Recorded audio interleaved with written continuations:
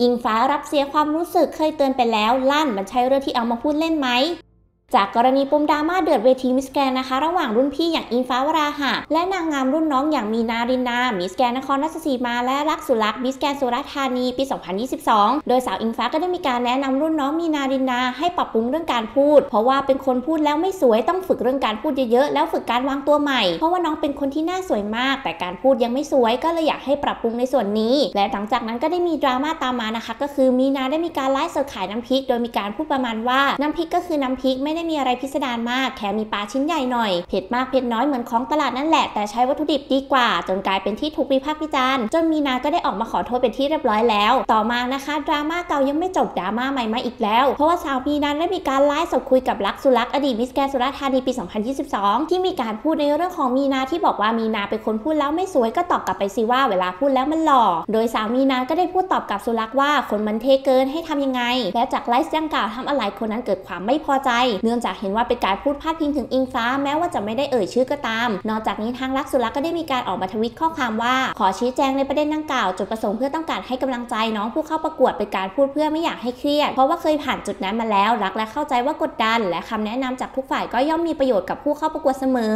ไม่ได้มีเจตนาพาดพิงถึงท่านใดเลย อยากจะขอโทษทุกฝ่ายที่ได้รับผลกระทบเลยเป็นเหตุทำให้สาวอิงฟ้านั้นต้องออกมาทวิตข้อความเดือดว่า ขอโทษที่เราไม่ตลกด้วยลองคิดดูดีๆ มันใช่เรื่องที่เอามาควรพูดเล่นไหมจากคำแนะนำที่ต้องปรับในช่วงการประกวดจริง ๆ วิธีการพูดให้กำลังใจใครมันมีเยอะแยะมากมาย ลองคิดดูดีๆ จะเทไม่ดูเวลาหน่อยหรอ ก็แอบเสียความรู้สึกเหมือนกัน ขอโทษที่เราไม่ตลกด้วย เก่งสุดๆ เอาที่มั่นใจกันนะ ขณะที่แฮชแท็กมีนารินาพุ่งขึ้นเทรนด์ทวิตเตอร์ส่วนทางด้านบอสณวัฒน์ก็ได้ออกมาโพสต์เดือดไม่หยุดด้วยเช่นกัน โดยล่าสุดสาวอิงฟ้าก็ได้มีการออกมาไลฟ์สดพูดถึงเรื่องนี้ โดยเธอได้เผยว่าสำหรับไลฟ์เมื่อวันที่เกิดขึ้นยอมรับว่าเสียใจเสียความรู้สึกพอลึกๆแล้วเราก็เชียร์เขาด้วยซ้ำเราแนะนำด้วยความหวังดี ถ้าเขาปรับได้มันก็จะไม่ค้านสายตาคนอื่น จะได้ไม่ต้องโดนคนอื่นว่าแฟนคลับก็ไม่สามารถที่จะโอบกอดโอ๋เขาไปได้ตลอด เขาต้องปรับเพื่อที่จะได้มาอยู่ตรงนี้ แต่ที่เสียความรู้สึกโมเมนต์ที่มันออกมาในไลฟ์ก็คือ หัวเราะย้อคุยกันสนุกสนานกับคำแนะนำที่เราจริงจังเราอยากให้คุณปรับเพราะว่ามันเหลือเวลาแค่ไม่กี่วันเอง มันจะตัดสินแล้ว วิธีการให้กำลังใจก็มีเยอะแยะมากมาย ถ้าตัวเองเคยผ่านมาก่อนในการเป็นผู้เข้าประกวด อันนี้ที่พูดถึงก็คือหมายถึงรักสุรักคุณต้องรู้สิว่าการให้กำลังใจคนมันเป็นยังไง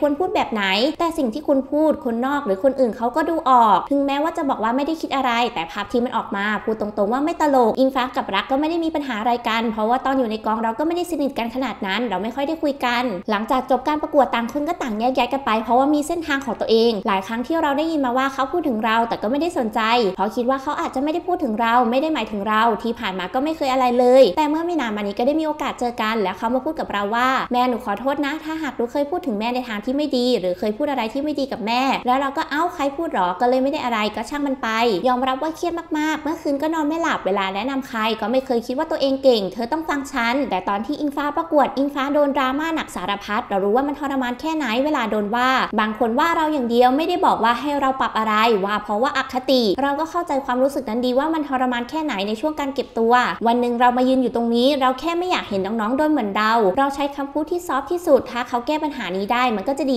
มากๆ เราจะไม่อวยกันแบบผิดๆก็ถือว่าทำเต็มที่ที่สุดแล้วในการที่จะแนะนำไม่ได้อคติกับใครเลย หวังดีล้วนๆ แต่พอเราทำด้วยความหวังดี แต่กลับรู้สึกเหมือนว่าเราเป็นตัวตลกเราก็ไม่โอเค เราเป็นคนตลกแต่ก็ไม่ตลอด บางคนเห็นว่าเราใจดีก็ไม่เกรงใจ เห็นว่าไม่ได้อะไรกับใครก็ไม่ได้หมายความว่าจะทำอะไรก็ได้ ขอให้เป็นบทเรียนแล้วกัน จะได้ไม่ต้องไปทำกับคนอื่น เสียความรู้สึกจริง ๆ ส่วนเรื่องกับน้องมีนา ก็แนะนำไปว่าน้องเป็นคนหน้าสวย แต่เวลาพูดแล้วไม่สวย เพราะว่าเคยเจอน้องตั้งแต่ซีรีส์โชว์มีเลิฟ เคยเจอกันตั้งแต่ตอนนั้นแล้ว ยังบอกว่าน้องคนนี้สวยมากๆ น่าเอ็นดู เห็นความเป็นสตาร์ในตัวเขาลลางในตอนเล่นซีรีส์เราก็ดูผลงานน้องเขาว่าเข้ากองประกวดแล้วจะเป็นยังไง ก็เป็นอีกหนึ่งคนที่ให้ความสนใจ ส่วนเรื่องการแนะนำคือมีนาเองก็ได้มีดราม่าเรื่องการไลฟ์สดและการพูด คนบอกว่าน้องเป็นคนพูดตรงๆ การพูดตรงๆไม่ผิด แต่คุณต้องดูความเหมาะสมในจุดที่คุณอยู่ถ้าไลฟ์อยู่กับบ้านอยู่กับเพื่อน ไม่ใช่ผู้เข้าประกวดก็ไม่เป็นไรเต็มที่ แต่พอมาเป็นผู้เข้ากองประกวดองค์กร การพูดตรงๆ มันก็ต้องดูบริบทความเหมาะสมแค่นั้นเอง ถ้าน้องปรับได้มันก็จะ perfectมากๆถ้าหนูปรับได้มันก็จะดีกับตัวหนูเอง และที่น้องบอกกับมีนาว่าก็คนมันเท่เกินให้ทำยังไงนั่นหมายความว่าหนูเห็นด้วยกับสิ่งที่เขาพูด แฟนคลับน้องบอกว่าพี่ฟ้าเป็นคนอคติน้องเป็นแพ้รับบาปไปเลย โดนไป